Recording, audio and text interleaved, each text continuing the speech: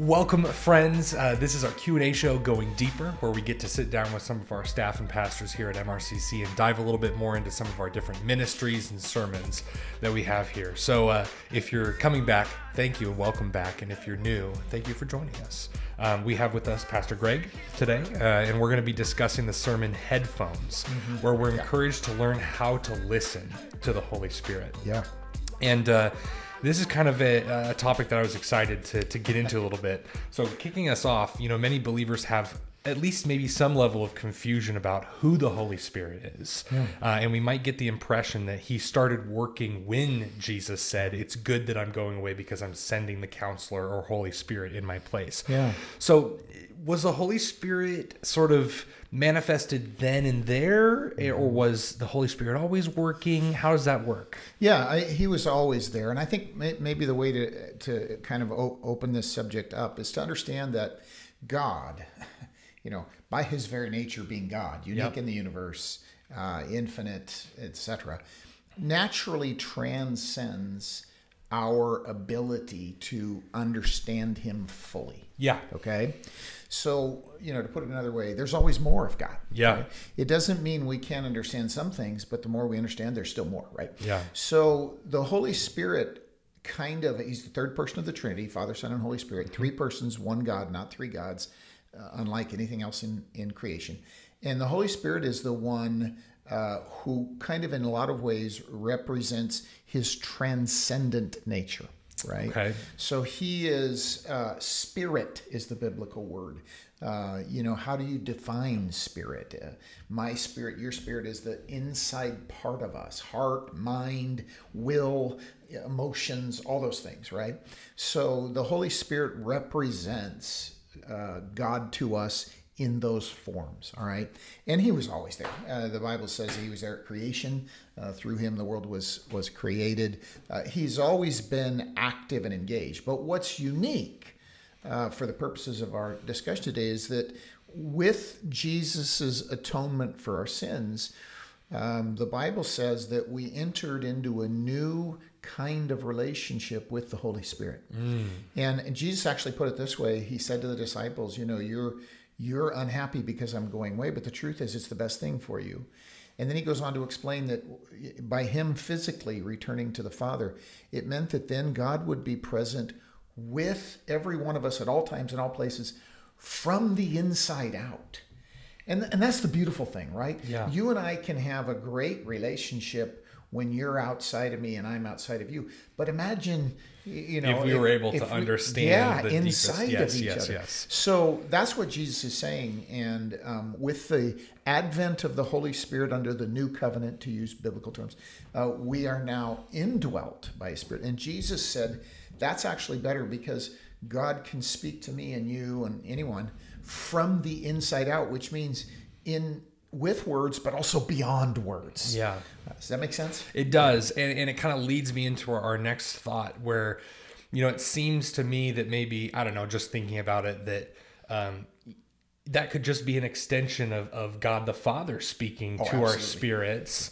Uh, so maybe what's so special about the Holy Spirit being distinctively one of the three persons of the Trinity and, and a separate entity, you know, a separate person, if that makes sense. So when we talk about these things, you know, uh, we are talking about ways to think about our relationship Yeah. with God.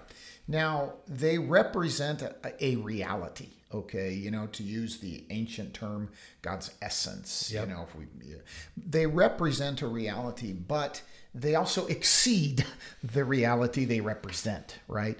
So the Bible teaches us that that when we've encountered Jesus, we've encountered the Father. Jesus says, "You've seen me, you've seen the Father." Right? Uh, Peter tells us in Acts, uh, you know, when we lie to the Holy Spirit, we've lied to the Father, right? So Yeah. we mustn't think of them as independent, unique persons, but interdependent, unique persons, right? So whenever I encounter Jesus, there's a sense in which I'm encountering the Holy Spirit. Whenever I encounter the Father, I'm encountering Jesus. Whenever I encounter Jesus, I'm encountering the Father.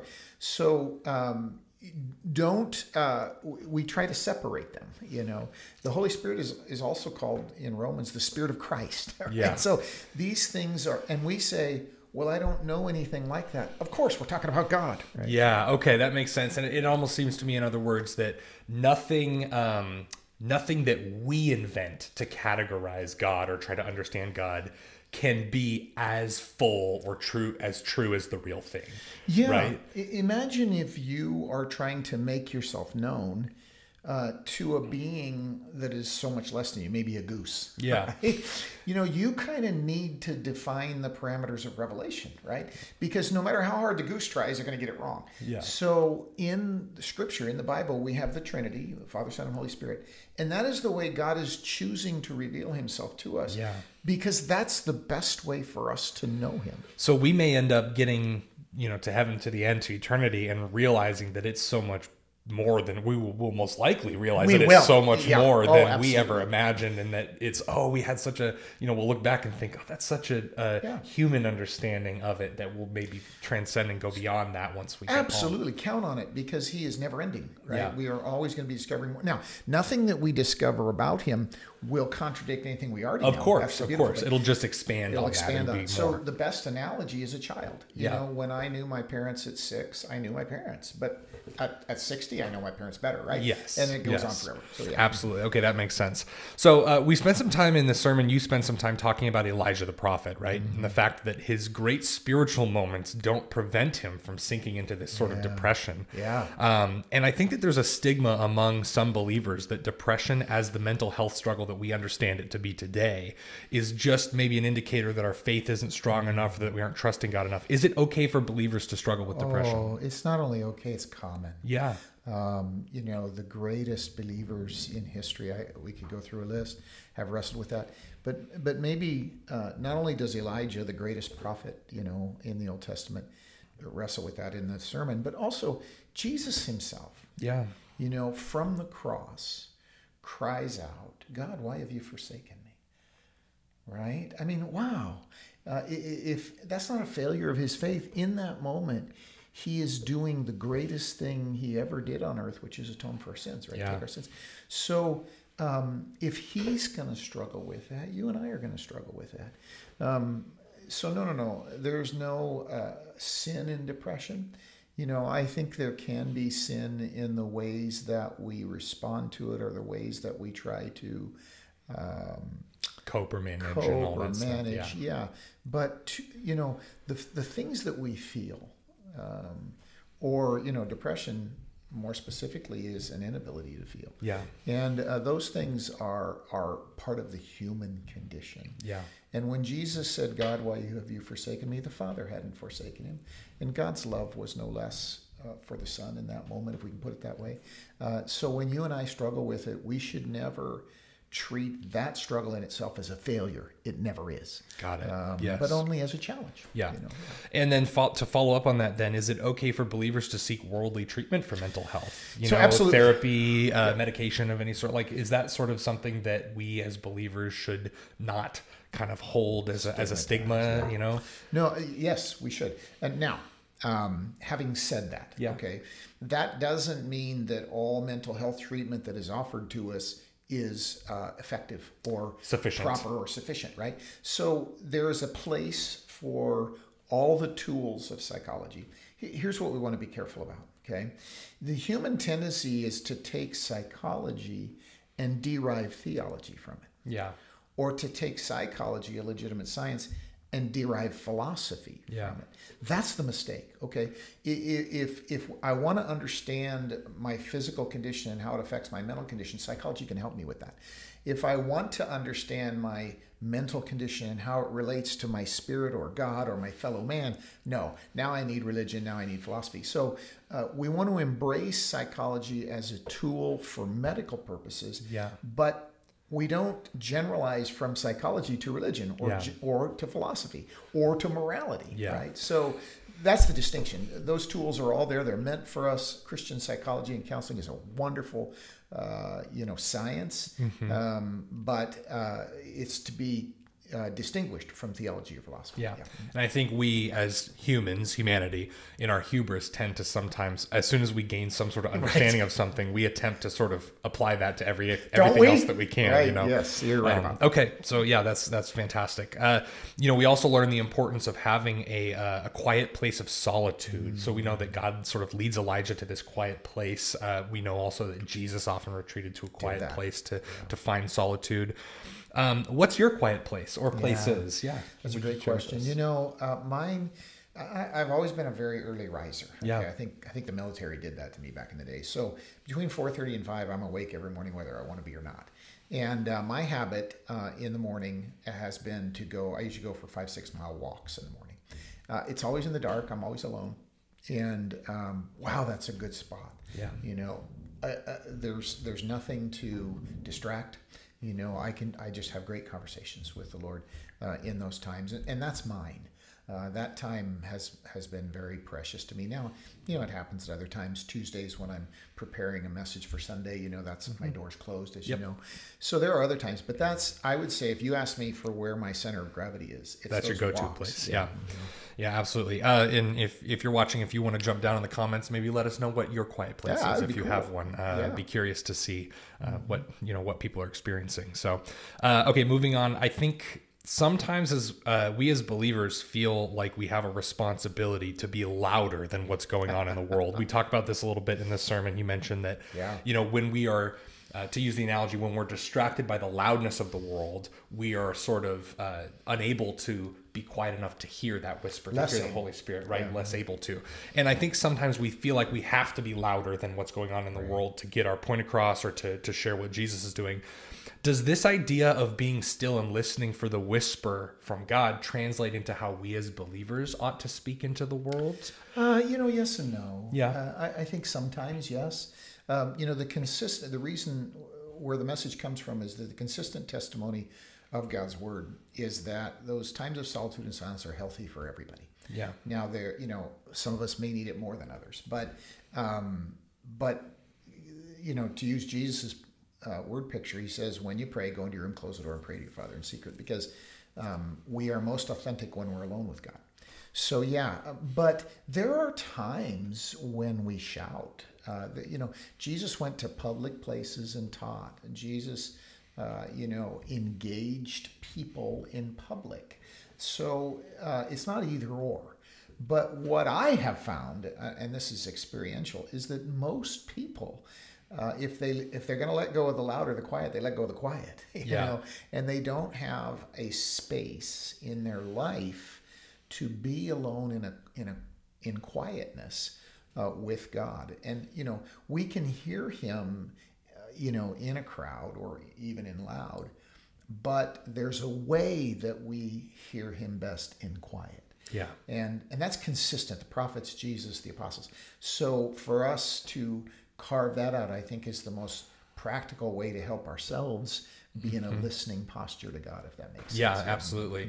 And I think again, like with so many other aspects of our faith, there's just this tendency to want to find one way to do it Right. and focus on that, right? It's like, oh well, this is you know that seems to be the dangers when we don't consider that there there is a balance because we know that Jesus often did go into public places Right. there was, but he also often went to small backwater Mm-hmm. places and said, hey, we're gonna go to this quiet place and I'm gonna I'm gonna whisper to the people there and teach there for a time. You know, there's both. and. definitely and you know uh, i think sometimes we want to be careful with the word balance because there is a clear priority Yes. you know uh, you, you know you'll be all right getting silent without loud you might struggle loud without silent right Yeah, for sure. um, both as you pointed out both are very important but one may be more significant there's there's an aspect of discernment Yeah. right that comes into it and that's something that we grow into as believers okay to round us out here with this final question uh, something that i've been asked before that i've asked as a question myself before Yeah. many times. Uh, how can we determine if what we're sort of hearing from within is our own inner thoughts or if it's the holy spirit speaking to great. us? Really great question brent. And you know that's the challenge is that when god speaks to us from within we just assume that everything within is us. Yeah. and so it, it takes some distinction. So how does that happen? Well just like a little baby growing up uh, a child as it develops increasingly gains the ability to discern their parents voices at first, you know, they identify that as parents, and as time goes by, they get it gets more acute, and you know, eventually they get to the point uh, where they can pick it out of a crowd. Okay, that's a process. It doesn't happen in a moment. So, um, how do we learn to distinguish? Well, first of all, quiet.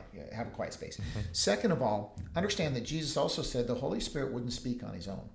He, to use Jesus' words, he said he'd take from what is mine and make it known to you. So, when we go to the scriptures, our learning of God's word enables us to recognize the tone of God's voice, if you will, when we hear it from inside. And the longer we listen to that voice of Scripture, Jesus, more clearly are we able to distinguish, you know, the inner voices. Uh, you know, and I would just say, as someone who's you know been a believer for 40 years, it just increases as time goes by, yeah. and increasingly you're able to note, oh gosh, that was clearly God, because you know I wouldn't have thought of that, you know, or I wouldn't have discerned that uh, need or that priority or that imperative. So uh, it's a process. I like to put it this way, and uh, I, I, don't want to cut you off, but I like to put it this way: is that the more we know God's word, it's like increasing your vocabulary in a foreign language. Yeah. Right. So I've been in a country, many countries that have other languages, and the first few days you're there, you can't recognize anything. The longer you're there, you start going, oh yeah, Picking yeah, yeah, yeah, right. You just start learning it, and it's the same with God. The more we listen to Jesus, the more we listen to God's word as a whole, the more we identify what's going on in our heads that is Him. Yeah, and and I think that we tend to want to. Um, we want it to sound a specific way, right? Like, oh, how do I recognize what it sounds like? But we don't focus as much on, well, we'll recognize it not necessarily based on what it sounds like, but what the content of it is, right? What the words that are being spoken is. And there's this big aspect. You know? Absolutely. I know that you've been married now for a few yes. years, right? Oh, well, yeah. one of the things that happens in a marriage, right, is that you begin to recognize each other's looks yep. and, and tones yep. and body language, all this kind of stuff. The same thing happens in our relationship with God, you know? As time goes on, you know, my wife and I are about to celebrate our 40th, right? Yeah. We can have pretty involved conversation without hardly saying anything. Yeah. Because we have this shared common experience. So the, the same is true in our relationship with God. The longer we walk with Him, uh, the more this vocabulary grows, the more this familiarity grows, the more this intimacy grows. You just pick out more and more and more. Yeah. And, you know, uh, one of the things that happens with married couples over a long lifetime is you can just sense each yeah. other's um, moods, thoughts, feelings, priorities. You can just sense all that, you know, in a beyond words way, which circles back to the original point. That's why Jesus says, better the Holy Spirit.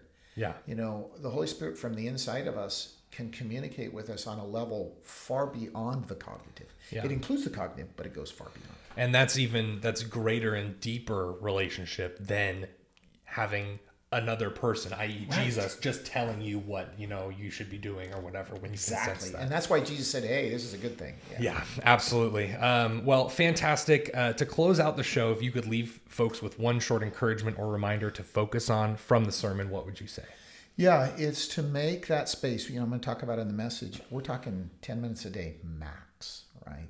But 10 minutes of listening to God. You know, I, am tempted to say five minutes. You know, if you get alone with Him and intently listen, you know, um, you know, one of the points we made is eh, to go back to your thing about how do we discern. The Holy Spirit will never disagree with Jesus. Mm-hmm. He will amplify and expand on what He's said, but it will always be consistent with Him. So, you know, the way I do it is when I go into those listening mm-hmm. spaces, mm-hmm. is I start off with the Lord's Prayer. You know, and then I go into some silence. And then I begin to talk. And I'm not afraid when I'm with the Lord to stop talking and just listen. You know, and the way he communicates is sometimes words, but other times it's it's moods, it's um, you know reflections, it's uh, feelings. Yeah, you know, and I can recognize those. We can recognize those as being consistent because they're consistent with Jesus, they're consistent with God's word, they're consistent with our growing experience and all of that.